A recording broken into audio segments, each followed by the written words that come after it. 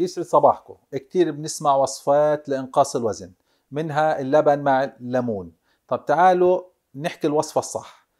كاسة لبن ملعقة من الخل الطبيعي نقطع عليها خيار وقليل من أوراق النعناع. نخلطهم مع بعض نحطهم بالثلاجة نص ساعة وناكلهم بالذات في المساء. هذه الوصفة راح تساعدنا كتير في إنقاص الوزن.